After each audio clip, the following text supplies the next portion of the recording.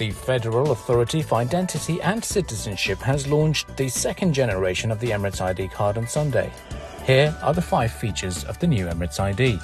First, it reads data through ICA's e-link system.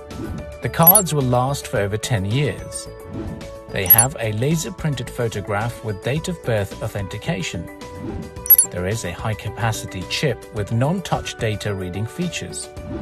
Cards will feature additional fields with codes definition. Residents and citizens will receive the new card during renewal at no extra cost.